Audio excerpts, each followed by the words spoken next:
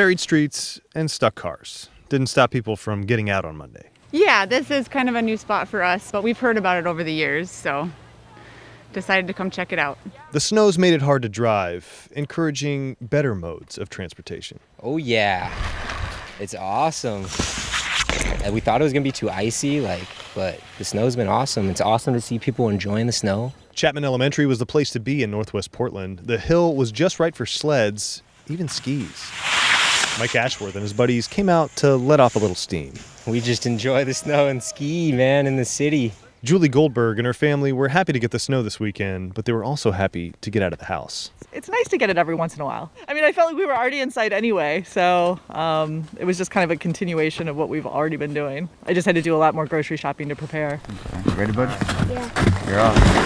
I love it. I'm from Minnesota, so I miss the snow, and so it's been really nice to have a little, a little stormy weather. Mom Ellison Cook enjoyed watching her kids slide swiftly on their sleds. Her son Jalen was kind enough to give us a ride. They've probably taken 20 plus trips down each, and it's just been a blast, even though it's raining. A quick trip down and a little hard work to get back up. Worth the effort for some snow day fun. In Northwest Portland, Jon Goodwin, KGW News.